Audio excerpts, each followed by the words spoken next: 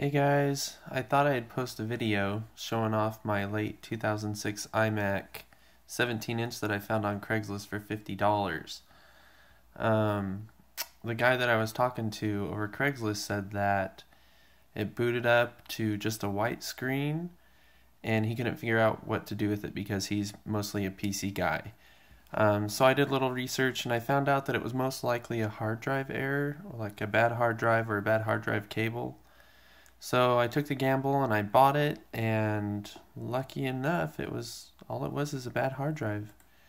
And I went ahead and installed, um, reinstalled the operating system, which, cool enough, was still in the CD drive. um, so the cool thing is, I installed Snow Leopard and I went through my old Apple account, through my old purchases, and I downloaded Lion. I installed Lion and then I boot camped it with Windows 10. Well, I started with Windows 7, then I went up to Windows 10. Um, but everything is working great. I put in um, a really cheap Bluetooth adapter in the USB port and it works just fine.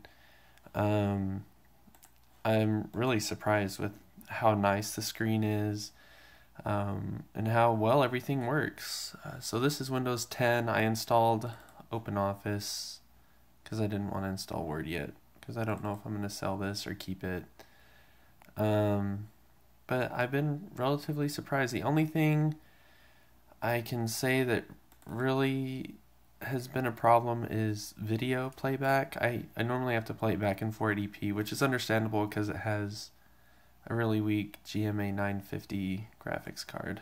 Um, but OpenOffice runs great on this. Um, everything's pretty fluid. Um, I'm really liking it. um, let me go ahead and I'll show you how to boot into OS X. We'll see. This is my first video, so I apologize for any shaky camera, bad audio, stuff like that.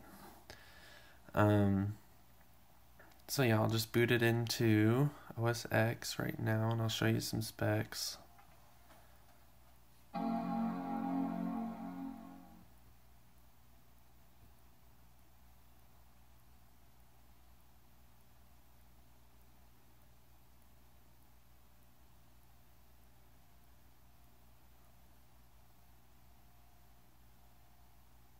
By the way, I'm filming this on my LG V10, which I still haven't really grasped all the functions and all the different manual settings, so I have it on Auto Ultra HD.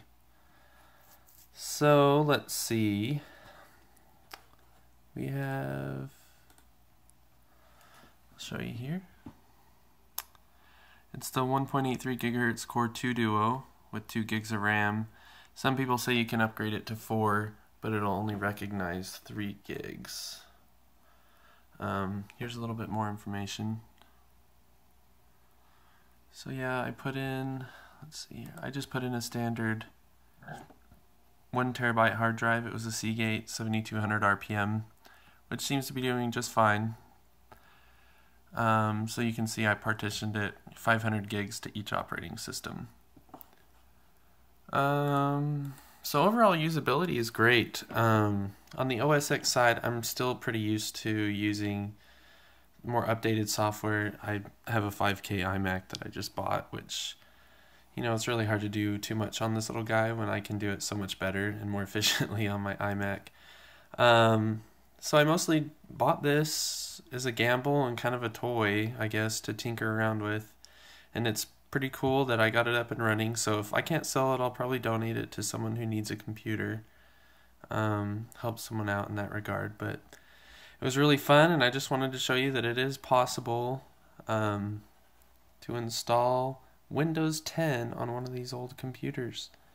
Uh, that's one thing that Microsoft did pretty well is making sure it was backwards compatible. So if you have any questions or comments, let me know how I can do better. I don't know if I'm going to be doing too many videos, but um, I just thought I would post something and see what you guys thought.